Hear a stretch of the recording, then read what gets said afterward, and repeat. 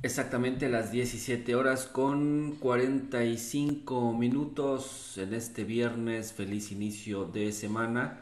Comenzamos el resumen informativo en la página de Noticias PB y de noticiaspbnayarit.com.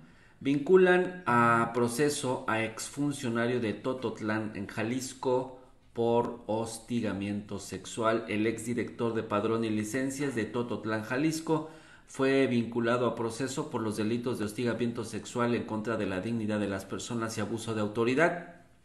El exfuncionario fue acusado de hostigamiento sexual por su subalterna Diana. Su caso fue ventilado en las sesiones de Cabildo, pero el presidente municipal Sergio Quesada, actualmente con licencia, minimizó la situación al grado que también revictimizó a la denunciante y la acosó.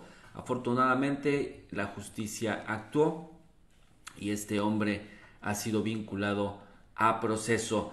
En información también te confirman que uno de los ejecutados en Zapopan era el Alexis, líder de la Unión Tepito. Ante el servicio médico forense acudió la madre del fallecido quien corroboró que es Alexis M, por lo que pidió que una vez que se concluyan los peritajes forenses se le entregue el cuerpo de su hijo. La Fiscalía del Estado informó que el hombre asesinado en un auto de lujo en Zapopan ya fue identificado por un familiar. Se trata de Alexis Martínez el Alexis, presunto líder del grupo delictivo La Unión Tepito. Ante el servicio forense acudió la madre del fallecido. Iba como copiloto en una camioneta BMW que era conducida por Sergio Adrián. También los acompañaba una tercera persona quienes al circular por la avenida Servidor Público y Paseo Real a la altura del Trompo Mágico, un sujeto en una moto y con una mochila de repartidor de plataforma les disparó, según informaron testigos. Silvana Beltrones cerró cuenta con 10.4 millones de dólares en Andorra, país principado en Europa. Esta cuenta la cerró en 2011, pero el dinero se quedó allá cuando la senadora cerró su cuenta en PPA, el dinero se quedó en Andorra, pues transfirió los fondos a la cuenta del abogado y político mexicano Luis Alejandro Capdeviel, quien fue diputado suplente de Manlio Fabio Beltrones y socio de Silvana en una empresa inmobiliaria. Nuevas evidencias publicadas en el país confirman que la senadora priista Silvana Beltrones Sánchez, hija del influyente político Manlio Fabio Beltrones, sí tuvo una cuenta bancaria en la polémica banca privada de Andorra con 10.4 millones de dólares, pero la cerró en 2011 por temor a que las autoridades mexicanas se enteraran de su existencia. Tarde que temprano se enteraron. Ahí están las informaciones. Identificaron a jóvenes ejecutados en mezcales. Vaya tragedia la que ocurrió en las últimas horas de anoche, las primeras de este viernes. Se trata de Santiago Hernández y Héctor Fercho Molina, quienes fueron asesinados durante la noche en el estacionamiento de una tienda kiosco donde les dispararon directo en la cabeza. Autoridades confirmaron la identidad precisamente de las dos personas que fueron eh, ejecutadas a balazos en una gasolinera de mezcales de quienes se dio a conocer que se trata de dos jóvenes de 22 y 26 años de edad, a los que les dispararon directo a la cabeza, quitándoles la vida casi de manera instantánea. Fue el papá de uno de ellos quien los identificó. Se conoce en torno a los hechos que esta información se originó al módulo de emergencias de C4, en donde el personal que atiende las llamadas de auxilio en el 911 fueron alertados de que en el estacionamiento de la tienda Kiosco y la gasolinera que se ubica por la calle Iturbide en el cruce con la avenida Emilio M. González en el poblado de Mezcales, esto en Nayarit, se encontraban dos personas lesionadas que habían sido agredidas a balazos. Identificaron a los jóvenes ejecutados en Mezcales. También déjeme comentarle que la Fiscalía General de la República, mediante cateo, pues realizó el incautamiento de 22 toneladas de maíz que habían sido robadas Y la Fiscalía General de la República también asegura 7 kilos de cristal en una empresa de paquetería. Es un gusto y un placer que me acompañen la tarde de este viernes. Hoy es el Día Mundial del Glaucoma. A partir del año 2008 se viene celebrando cada 12 de marzo el Día Mundial del Glaucoma. Es un padecimiento que engloba hasta 60 enfermedades oculares que pueden ocasionar la ceguera del paciente producto de una degeneración progresiva del nervio ocular. Actualmente el glaucoma es la segunda causa común de la ceguera.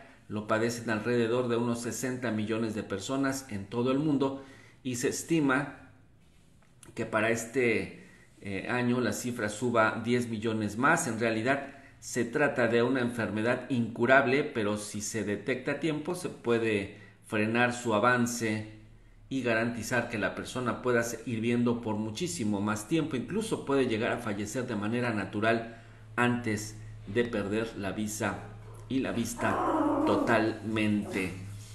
Regístrate ya al programa de uniformes y zapatos escolares. Esto es del 4 al 12 de marzo a través del portal uniformes.puertovallarta.gov.mx.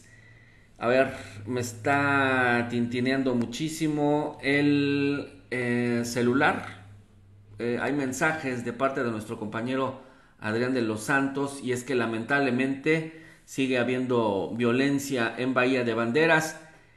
Em, balacera en bucerías en este momento. En la mega de bucerías balacearon ya a una persona. Eh, José Luis Preciado ya debe de estar en camino en el lugar de los hechos. Nos está informando Adrián de los Santos que en la mega de bucerías han eh, balaceado a una persona. Es la información que está llegando en este momento a través de Noticias PB y de Noticias PB Nayarit com. Déjeme contestarle rápidamente. Pues terrible, ¿no? Terrible la situación. Eh, se está mandando ya el mensaje y la verdad es que pues ya tenemos eh, varios días eh, seguiditos con esta información de inseguridad y nos informan que están checando. Solo se sabe que hay balazos en la mega de bucerías. Hay que tener cuidado tú que me estás viendo en aquel eh, lado de Bahía de Banderas. Pues eh, si nos puedes ayudar también. Al parecer le dispararon a una persona, pero no se sabe si herido o fallecido. Están ya las unidades en camino y ya va José Luis Preciado para allá. Está atento y listo para que en un momento más podamos tener información en bucerías balacera a la altura de la mega. Vamos a estar al pendiente también de lo que se ha estado manejando eh, últimamente es que localizaron en un barranco al presidente con licencia de Casimiro Castillo. Alfredo Sevilla Cuevas estaba reportado como desaparecido desde el 10 de marzo. Estaba junto con su camioneta y todo parece indicar que se salió del camino, pero ya están investigando los hechos. Se generó una fuerte movilización de las autoridades luego de que el presidente municipal con licencia de Casimiro Castillo, Alfredo Sevilla Cuevas, quien buscaba la reelección por el Partido de Movimiento Ciudadano, fue localizado sin vida en un barranco de la carretera que va a esa comunidad de Casimiro Castillo hacia Autlán de Navarro.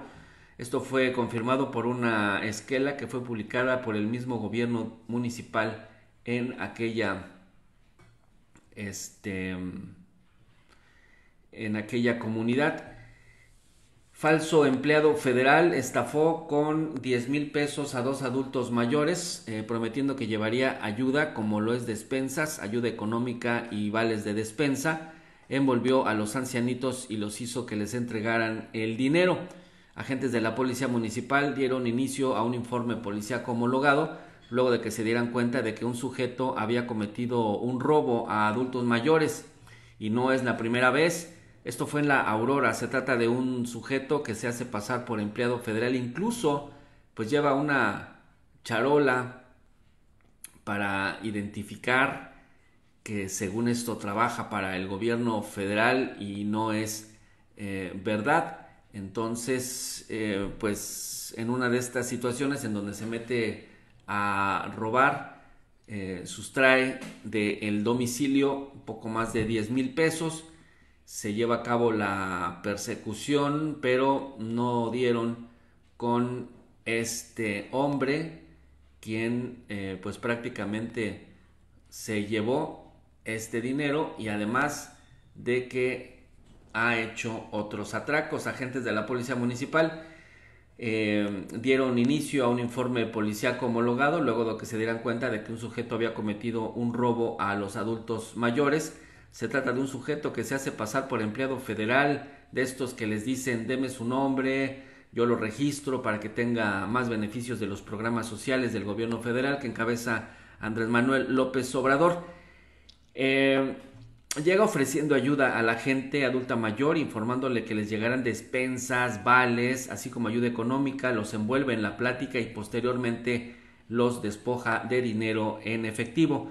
Este caso ha sido denunciado en varias ocasiones en distintos puntos de la ciudad y los afectados en todo el tiempo son los adultos mayores, por lo que los elementos de la Policía Municipal han dado inicio al informe policíaco también eh, hubo un aparatoso incendio, el que se registró en el interior de una finca de la colonia Vista Dorada en la parte alta del Pitillal. Las causas eh, que lo ocasionaron se desconocen y la situación ya fue controlada también por los bomberos.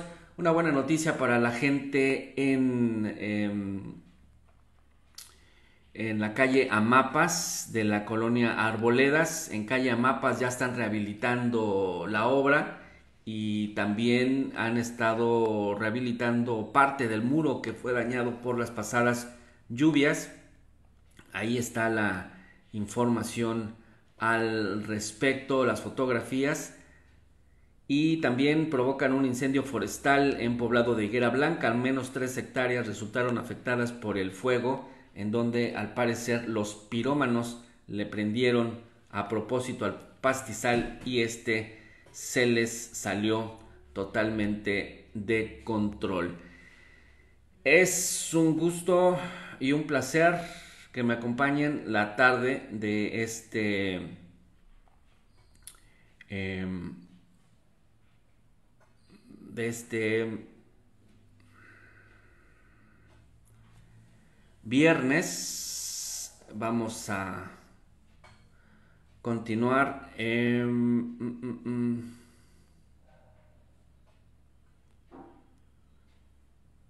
oh, ok, ok, ok. Ok, ya está. Bien. Eh, bien, me detengo a leer algunos comentarios. Eh, gracias a Olga Macías. Hola, muy buenas tardes. Eh, Maribel López, muy buenas tardes, amigo, Dios te bendiga, gracias por tu información. Hay un, eh, hay un niño, este, y con todo el respeto para los niños, hay un niñito que está jugando en las redes sociales. Este niñito se llama Juan Pérez.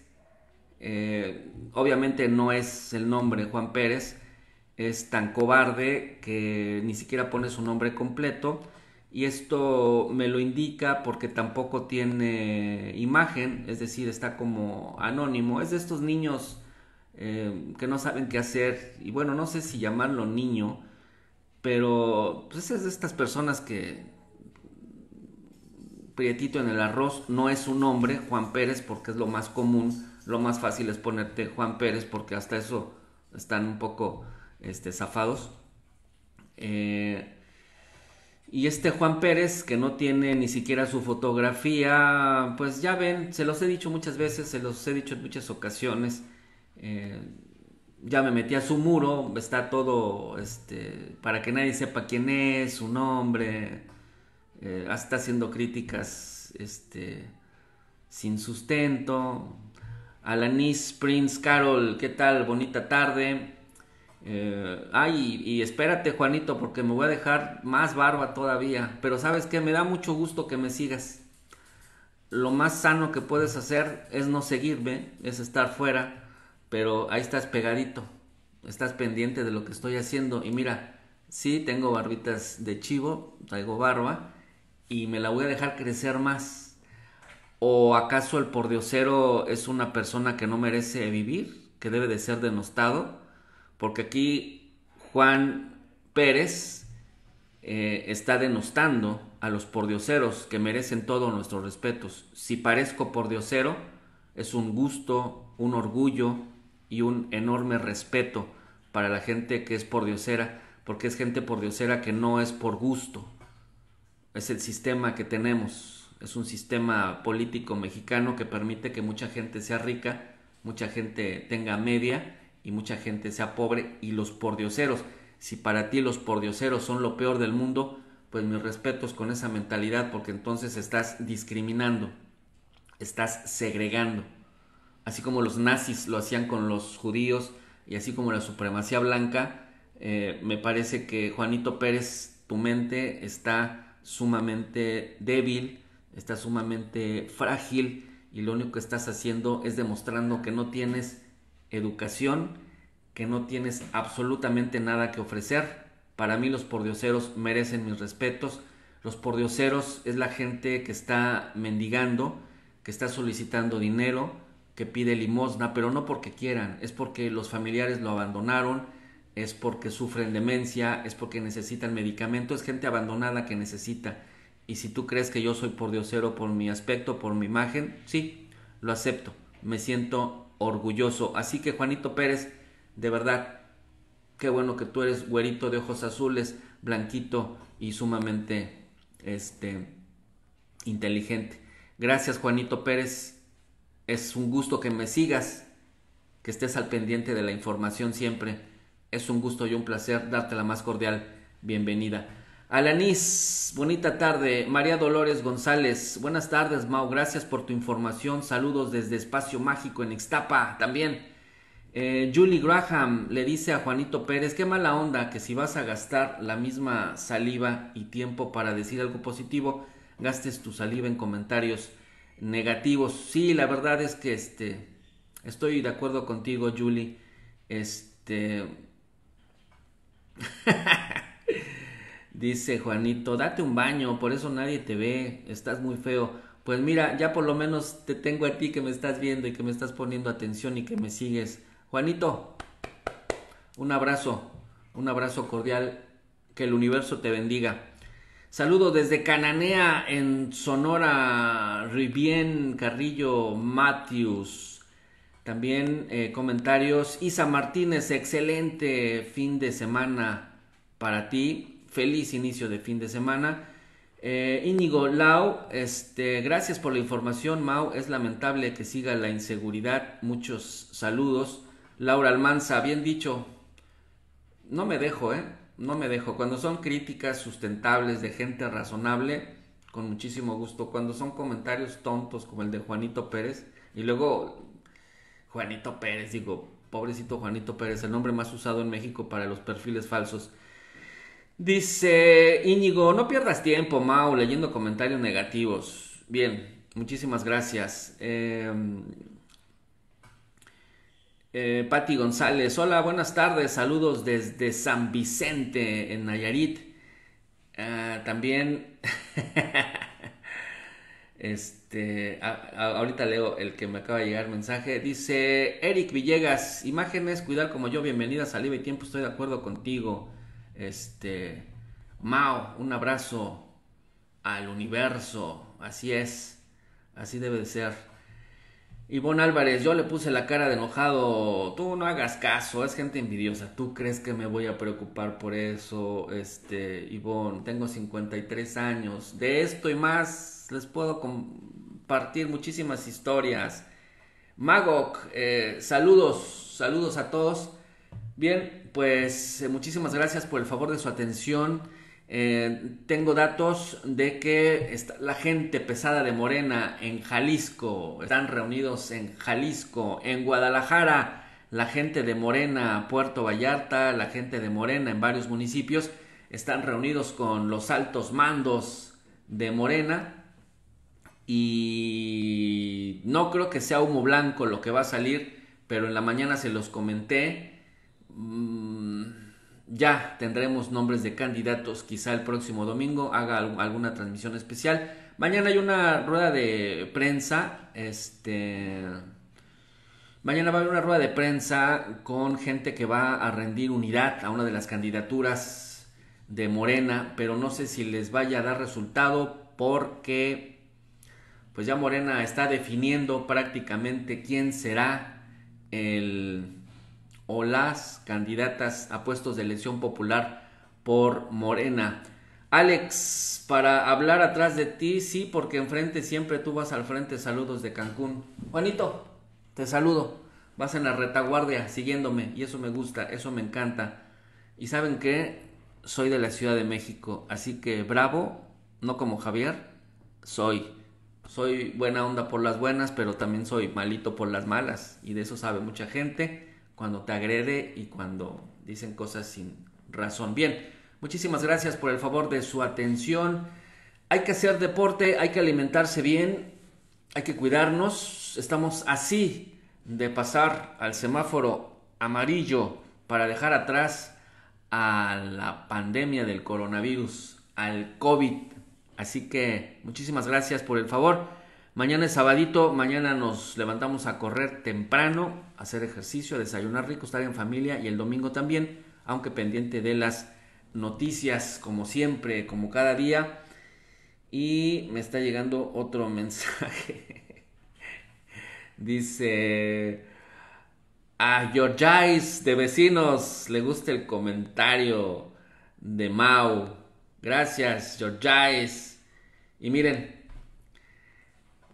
este, me parece que es un actor, me parece que es un actor, si no tengo mal el dato, es un actor, pero yo tengo muchos amigos por dioseros de los pepenadores, de los que acompañaban mucho a Edelmira Orizaga, muchos de ellos son amigos míos, de los que pepenan la basura, que son por dioseros, son amigos míos, y saben cómo los conocí, entrevistándolos, platicando con ellos, y luego desayunaba con ellos. Bien rico, un bolillito, un cafecito bien a todo dar y eso es lo más rico de la vida, la sencillez y la humildad. Así que a este personaje o a esta persona real que me acaban de enviar en fotografía, mis respetos. Y sí, así es. Somos pordioseros, somos humanos, somos lo mejor de lo mejor. Saludos a todos y excelente tardecita. Sí, efectivamente es Manuel el Flaco Ibáñez, actor de la serie Vecinos. Un abrazo a todos, sin distinción, sin discriminación, sin sectarismo. Los quiero mucho. Gracias. Buenas noches.